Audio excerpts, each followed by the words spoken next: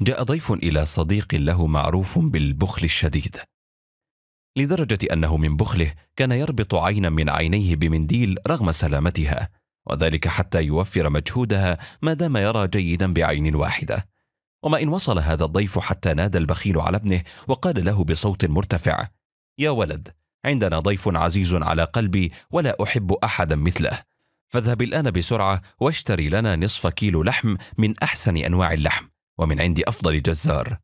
قال الابن سمعا وطاعة يا أبي يا من تكرم الضيف وتحسن للسائل والمحروم. ثم غادر الابن البيت وذهب لقضاء طلب أبيه. وبعد مدة طويلة عاد الولد ولم يشتري شيئا. فسأله أبوه أين اللحم يا ولد؟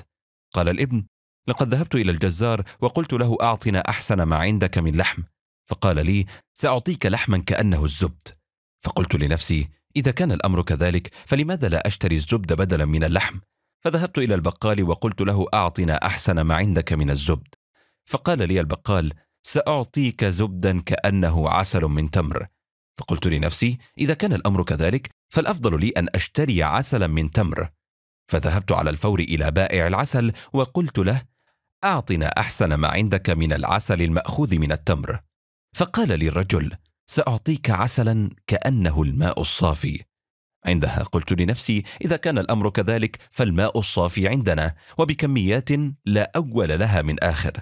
ولهذا يا أبي عدت إليك بالنقود دون أن أشتري شيئا. قال الأب وهو يبتسم فرحا يا لك من صبي ذكي. ثم أخفى ابتسامته وبدلها بلمسة حزن وقال لابنه معاتبا ولكن فاتك شيء يا ولد. لقد استهلكت حذاءك وأنت تنتقل من دكان إلى دكان.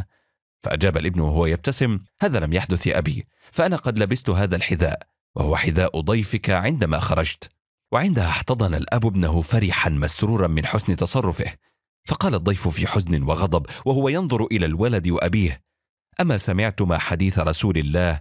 السخي قريب من الله قريب من الناس قريب من الجنة بعيد من النار.